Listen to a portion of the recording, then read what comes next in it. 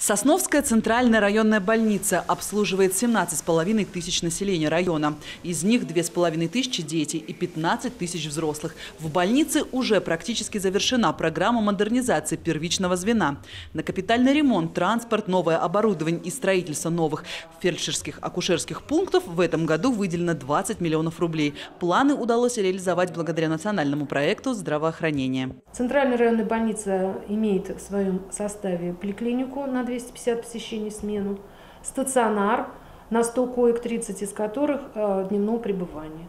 Также стоматологическую поликлинику, отделение скорой медицинской помощи, отдельно стоящий инфекционный корпус. А в нашей структуре э, есть все для качественного обслуживания населения. В районной больнице появился новый цифровой маммограф, который располагается теперь в капитально отремонтированном помещении. Сторонку ручку берите, да, сторонку. Вот так. Мы получили новый цифровой маммограф. Сейчас осваиваем эту работу. Сейчас работаем совместно с программистами, чтобы довести программу для того, чтобы было удобно нам работать рентгенологом.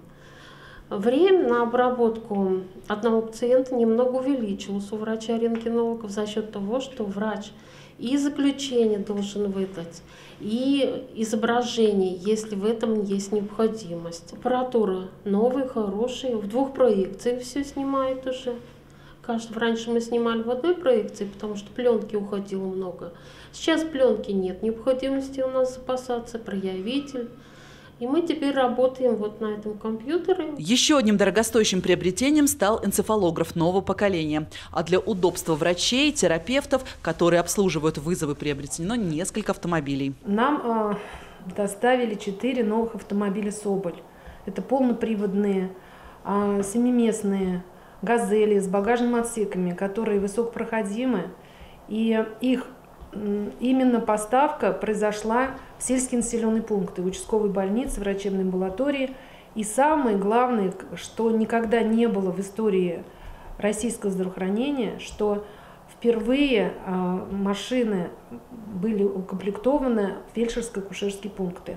В нашем а, случае это Баранский фельдшерско-акушерский пункт, который а, теперь имеет возможность обслуживать пациентов а, доставлять пациентов до центральной больницы, также доставлять врачей до самой отдаленной сельского пункта, что в разы улучшит качество оказания медицинской помощи, а самое главное ускорит а, доставку этой медицинской помощи до самого больного. Очень тяжело работала. С деревень я, мой ФАП обслуживает, в общем, 6 населенных территорий.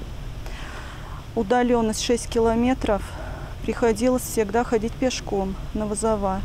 Зимой, осенью это, зимой это непролазные сугробы, сумку на плечо и идешь на Вазова. Пешком я когда пройду на вызов пациенту, например, в соседней деревне, я два часа пройду, прошлепаю. А это на машине. Позвонил машина. 15 минут она от Сосновского уже приехала. Меня доставить к любому пациенту. Раньше ездили на УАЗиках, Сейчас пришли новые автомобили, газели полноприводные. На них стало комфортнее ездить, удобно. Они полноприводные, то есть в любую деревню можно доехать за больными, и доставить их в больницу на госпитализацию. Программа модернизации первичного звена здравоохранения в Сосновском районе позволила капитально отремонтировать Панинский фельдшерско-акушерский пункт. На эти цели выделено более трех миллионов рублей. Работы должны завершиться до конца сентября. Мы очень довольны а, ремонтом нашего единственного пока в этом году фельдшерско-акушерского пункта в село Панино. Село Панино – это известное село, котором а, родилась наша первая русская женщина-врач, доктор а, медицины Суслова Надежда Прокопьевна. Мы этим очень гордимся. И именно почему-то с этого ФАПа началась программа модернизации в нашем районе. На сегодня программа завершена. Мы радуемся этим светлым кабинетам, а, новой крыше, новым дверям, пандусам. Ну, вообще ФАП преобразился и стал а, современным, просторным и очень красивым, удобным для работы. Я обслуживаю шесть деревень. Это вот Панина, Рогозина, Филюкова, Озерки, Каргашино, Мельдино. Самые дальние деревни у меня находятся на расстоянии 6 километров. А так 5, 2, там 3 километра. Э, Населения там уже, конечно, немного. А вот так и выглядит обновленный, отремонтированный Панинский фельдшерско-акушерский пункт. Новая крыша, стены, пол, окна. А вот, собственно, кабинет фельдшера, который работает здесь один. Даже гинекологический кабинет новый тоже имеется. Здесь уже видно, что подключен новый компьютер, клавиатура еще в упаковочке, карточки пациентов, которые скоро смогут оценить новый пункт. Примечательно, что региональная программа первичного звена здравоохранения практически полностью реализуется за счет федерального бюджета. Из 2 миллиардов 800 миллионов рублей область финансирует лишь 148 миллионов. В этой программе одновременно участвуют 88 медицинских организаций. Мария Бурова, Ренат Бигбаев. Время новостей.